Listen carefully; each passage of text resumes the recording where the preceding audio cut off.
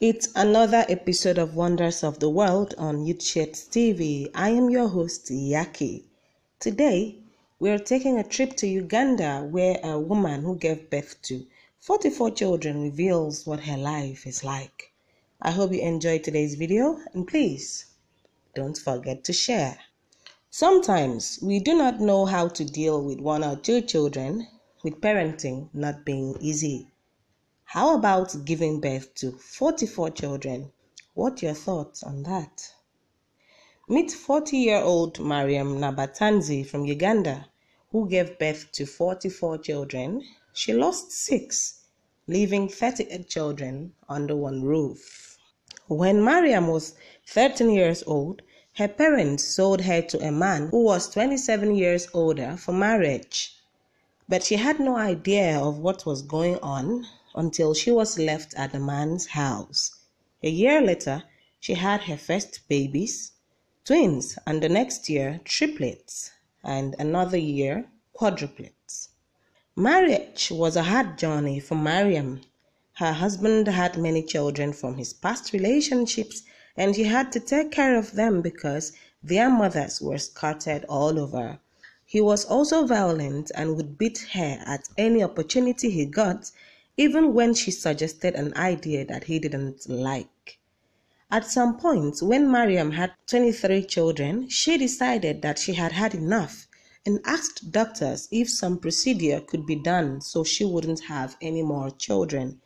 But after an extensive examination, doctors said that she had a high ovary count and that any procedure would put her health and even her life in danger.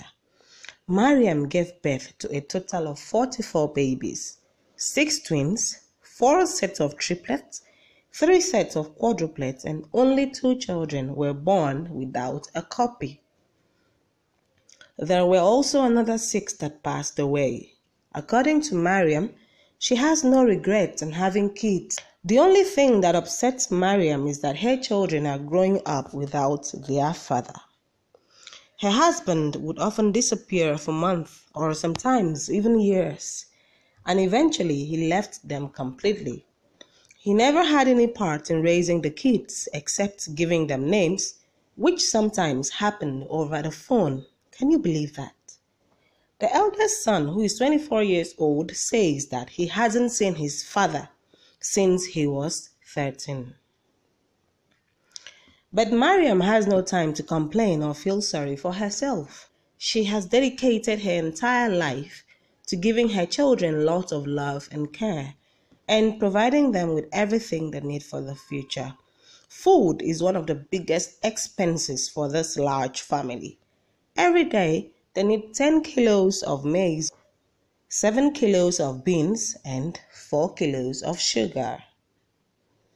All her children are getting an education. One of her firstborn twins became a nurse, and the other became a qualified builder. She says, and I quote, I am hopeful that my children will go to school because they all have big ambitions of being doctors, teachers, and lawyers. I want them to achieve these dreams, something I was not able to do. End of quotes. To cover her expenses, Mariam has had to learn many difficult skills. She collects local herbs to sell, bakes cakes, lays bricks, braids hay, organizes and decorates events, and even styles hay for bride, to mention a few. Journalist Kasim Kaira heard about Mariam and visited her outstanding family. It is thanks to him that we now know about her as well. Mariam has a message for all parents in her culture. She says, and I quote, Stop selling your daughters to men for early marriages. They suffer too much, and the loss of parental love is something that they can never recover fully from. End of quote. Additionally, she says, I'll keep on fighting to make sure my children always have food to eat. I will never abandon them, even if we suffer to survive daily. In her interview with Kasim, Mariam gave some advice to all men. Do not forget your responsibility because marriage is a joint responsibility to raise your children. Life for this woman has been very harsh, and we wish for her that all of her kids grow into wonderful people so she can get to rest one day. What do you think fertility has been to Mariam? A blessing or a curse? Let us know in the comments section. That's all for today on Wonders of the World on Youth Shades TV. Till we come your way next Sunday, kindly share the video and follow our Facebook page, Youth Shades, so you can watch future videos. I remain your host, Yaki. Blessings.